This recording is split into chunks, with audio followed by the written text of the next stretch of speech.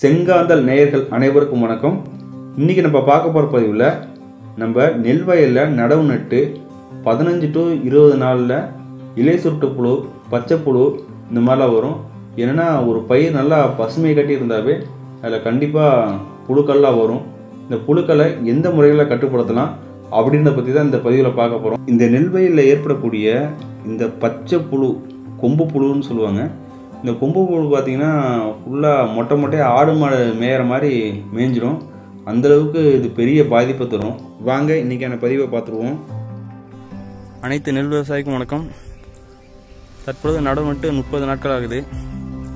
இப்போ நம்ம பூச்சி கட்டுப்பாடு இப்போ இந்த நெல்லில் பார்த்தீங்கன்னா அதிகமாக இலை சொட்டு புழு தாங்க வரும் இந்த இதில். இந்த மாதிரி பச்சை புழு. அதுக்கு வந்து இந்த மாதிரி முள்ளுக்குச்சி எடுத்துக்குங்க. முள்ளுக்குச்சி எடுத்து இந்த பயிரை இருந்தா இந்த மாதிரி இப்படி அடிச்சிங்கன்னா ஒன்று ரெண்டு இருக்க. புழு கீழே விழுந்துரும் தண்ணி அதுக்கு அதிகமாக வச்சுருங்க. இது பாருங்க. புழு விழுந்துருக்கு பாருங்க கீழே. இது அந்த பயிருக்கு போக முடியாது.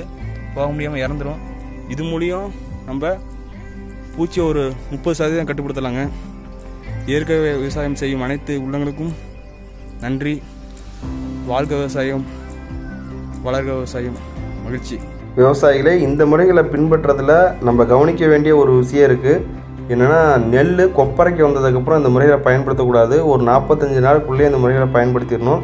என்னென்னா நெல் கொப்பரைக்கு வந்ததுக்கப்புறம் நம்ம பயன்படுத்தோம்னா மகசூலில் பாதிப்பை ஏற்படுத்தும்.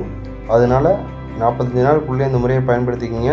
விவசாயிகளே இந்த தகவல் உங்களுக்கு பயனுள்ளதாக இருக்கும்னு நம்புகிறேன் நம்ம சேனலுக்கு சப்போர்ட் பண்ண நினச்சிங்கன்னா சப்ஸ்கிரைப் பண்ணிக்கோங்க.